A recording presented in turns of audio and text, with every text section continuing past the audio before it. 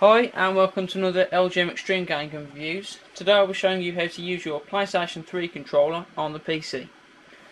Uh, this mod, as far as I know, only works with XP 32-bit. Uh, may work with 64-bit, but I'm not too sure on that. Uh, firstly, obviously, you need a controller, and you need the USB cable to the PS3 as well, just like that. Okay. It's a tiny little plug. Uh, firstly, you'll need to download the program file from the info link on the right hand side of the screen. Now, I've already got this downloaded installed on the computer, so I'll only show you what you have to do to do it. So, go to wherever you've saved it.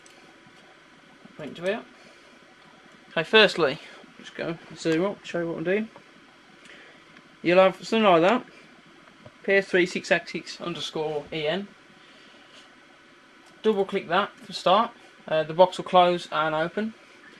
Straight after that, let's get the controller and plug the controller in. Uh, plugged in and it should start flashing. Now play the program once more and it closes again. And then press the PS button in the center controller. Now hopefully, if that's worked, you should be able to find it in your control panel. Game controllers. Ah, and I got that onto the controller. It'll say it's plugged in. Plugged in there. Up top get to focus. PS3 controller. Okay. Now just to test that your controller actually works properly. You can do a test on it. So, show to the right hand side here Okay. Now if you can see that.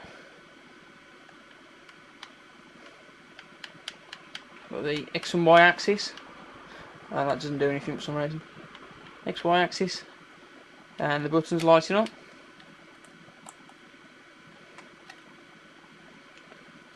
Every button you can think of set. Like that. So that's all good. Now we're going to load Need for Speed Pro Street and just, just show a little bit of a demo on that. So let's go ahead and do that now. Let's just go ahead and so, so click it, click the L3 button. It's the only way it seems to be able to do anything with this. Click the L3 button and both hands are it. Load controller. Load career. Okay. So you can go into settings. Uh, go into career. Continue career. And I can go from cards if you want. BMW, out, Evolution, Carrera GT. Uh, there's a few of the settings that are a bit odd with this, but there's not really a great deal can do. Like you'll move around, but you can't use the X as the enter control. I go to that. So you still need a keyboard essentially to be able to do all the functions. And again, that doesn't work. You got to have to zoom in, zoom in and out, left, right. That's that and of course as far as it goes that not a great deal. I can go back let's go and do a race. Uh, it's a bit hard to demonstrate using the controller same time as racing but sure I can try uh,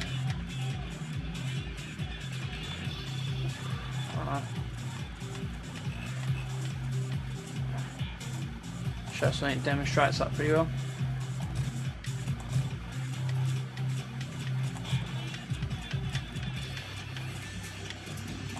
DBR9, yeah.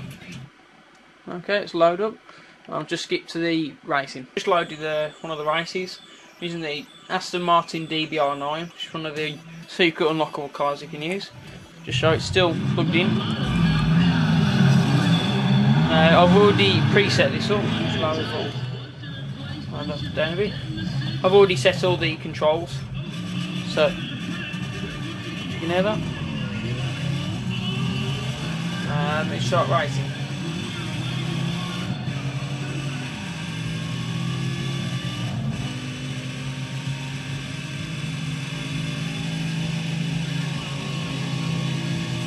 Um, I find that using the PS3 controller it seems to be a lot more effective. Uh, it's a lot more smooth and easier to play than using just like normal keyboard settings. And then do a bit of handbrake turn? Go back down the road and then go back again. Uh, it's quite quite a fun thing to do. Also, I've set it up so I can use the gears manually. Go back. Kill the engine. Turning in first. Uh, fourth. Third. Fourth. And go inwards. Ooh, nearly rolled it. Ooh. So as you can see, uh, quite easily works. Still connected.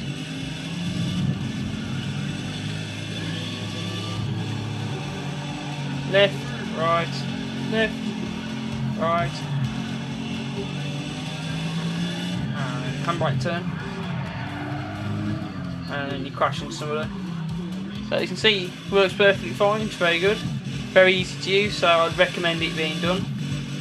So uh, from there, uh, go on with that. At the moment, I'm just really briefing for you that.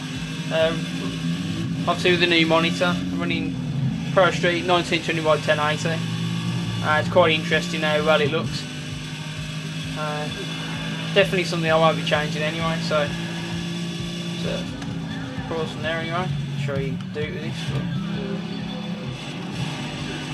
uh, pause it from there. So still some of the settings still have to be used by the keyboard because obviously PS3 doesn't have any proper programs from Sony. So from now, uh, thank you for watching my video. Uh, if you've got any qu questions or comments or anything on the, how to use the controller, then uh, please feel free to comment or send me a PM on YouTube. So uh, from now, uh, thanks for watching, hope you've enjoyed, and I'll see you next time.